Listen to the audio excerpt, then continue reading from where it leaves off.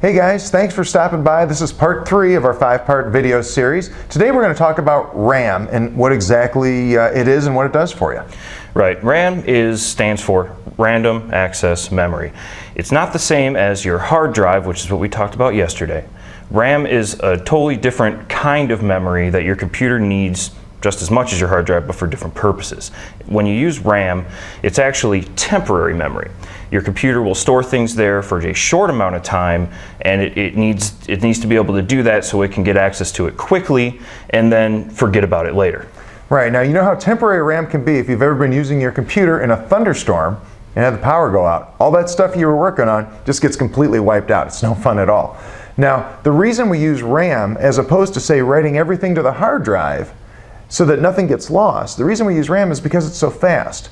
Um, the problem is with writing to a hard drive, have you ever used your computer and you have a bunch of files open?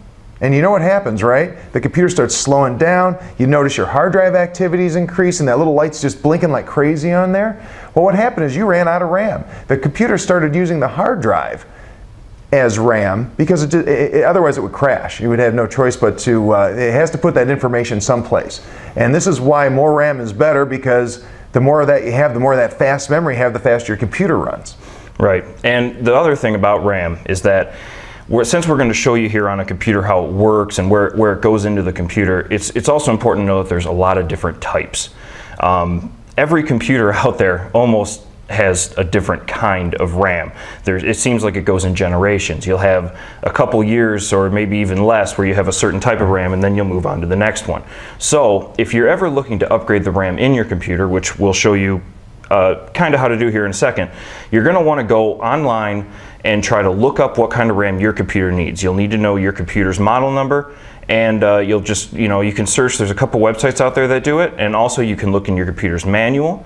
You can also call the computer manufacturer, or if you're feeling like giving it a shot, you can open up the computer and look and see what you have in there currently. Right, and there's different types of uh, configurations for the RAM too. Some computers need to have them in pairs. Some types of RAM can be sit in there as a single stick. There's a ton of stuff that you can run into when you're trying to upgrade RAM. It's probably one of the actual, it's the actually the easiest thing to plug into the board, but the hardest thing to make sure you get the right pieces for. So definitely do that lookup that Gary's talking about. So I think probably the next step here is to go ahead and take a look and see what RAM looks like and how to, how to plug it into your system. Let's look at some RAM sticks first. These are just, here's some random sticks of random access memory. Here's some random RAM. And they're just, they're just little, uh, looks like a little circuit board has, has some uh, little uh, processor looking things on there. Those are all the, this is where all the memory is, is right in here. That's all, it, all there is to it. Let's take a look at it on a board. You can see right here we have a piece of RAM installed right here in this particular slot. Now, I don't know if you can see it in the video, but these slots are all keyed, which is good because if you run into a problem where you're trying to put the wrong kind of RAM in, it just it simply won't fit. Now, RAM is like we had indicated before, it's really easy. Uh, to get it out, it just pops out. You, there, there's generally two little flaps on the side. You pull them back and it flops out. To put it back in, we're going to try to do this carefully because you don't want to snap the board here. Uh, okay. You just even pressure on both sides and the little tabs will snap back up.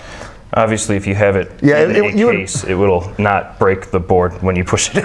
right, yeah, we don't want to push too hard here because we can't, uh, for the video demonstration, otherwise we could damage the board. But uh, yeah, if it's mounted properly, you'll have no problem. Just press on either side with your thumbs and it'll snap into place. That's all there is to uh, installing RAM. But again, make sure that when you're getting your RAM, you're making sure that you have the right speed, the right type. There's a lot of factors that go uh, that go into your decision there. So uh, Gary had indicated there's some websites out there that can help you. Uh, it may not even be a bad thing to take it into a local computer store and have them point you in the right direction either.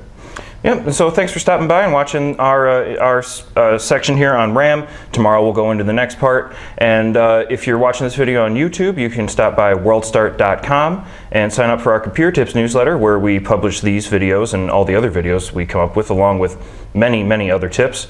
And if you have a question for us, go to worldstart.com slash ask and we'll be happy to answer them for you. Thanks for stopping by.